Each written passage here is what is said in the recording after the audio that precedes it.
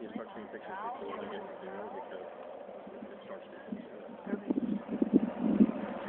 Ground suppression water system is now on.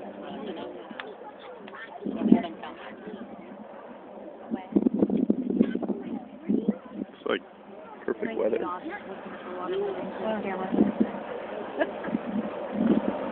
One minute. One minute.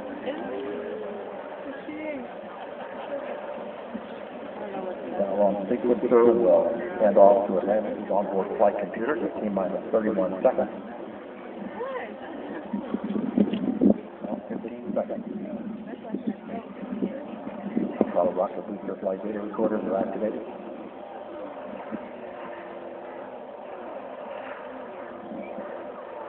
T minus 31 seconds. Thank you. Thank you. The handoff has occurred. 25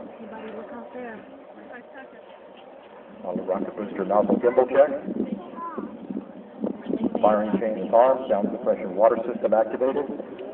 T minus 13, 12, 11, 10, 9, 8, 7, 6, 5, 4, 3, 2,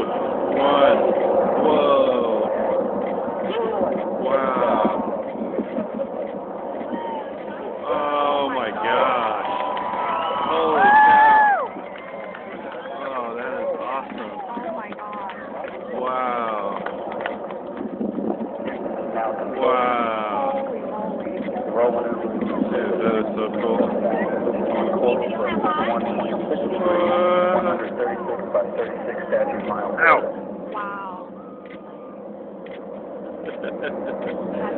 oh, wow.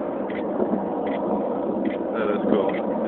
Got the three main engines on it now, now they're throttled down to 70. I know. There is maximum dynamic pressure on the vehicle in the lower atmosphere.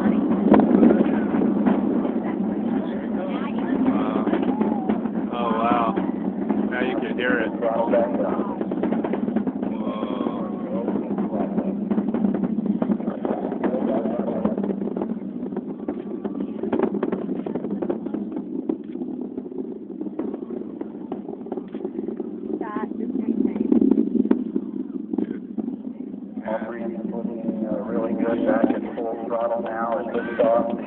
Wow. Weighed four and a half million pounds.